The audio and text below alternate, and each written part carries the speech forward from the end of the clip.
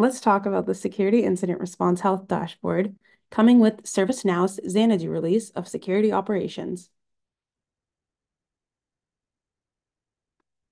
Before we get started, I just want to cover a brief safe harbor notice, noting that this presentation might include forward-looking statements that are based on our beliefs and assumptions on information that is currently available to us as of the date of this presentation.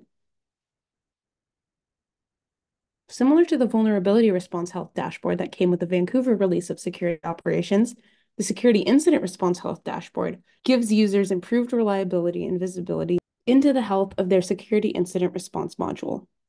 This includes being able to obtain detailed information on alert sensors and their operational performance, as well as gain visibility into any customization in detail.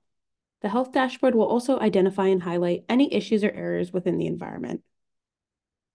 The Security Incident Response Health Dashboard can be accessed within the Security Incident Response workspace by going to the left-hand menu and selecting SIR Dashboards.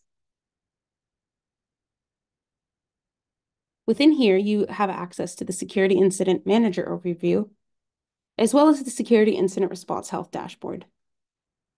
Drilling into one of the indicators on our graph, we're able to view the key performance indicator details.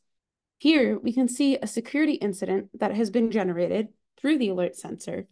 You can also view implementation information, as well as the issues and errors present within your environment. Within the Implementation tab, we can also check on customized flows that we may have in place. This is also where we can view any business rules that have been customized and custom script includes.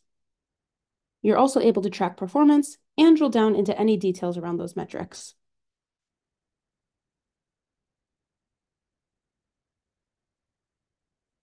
For example, here we can see that there's a slow business rule causing a delay within our system related to a MITRE technique rollup. Once again, we can drill down for even more information.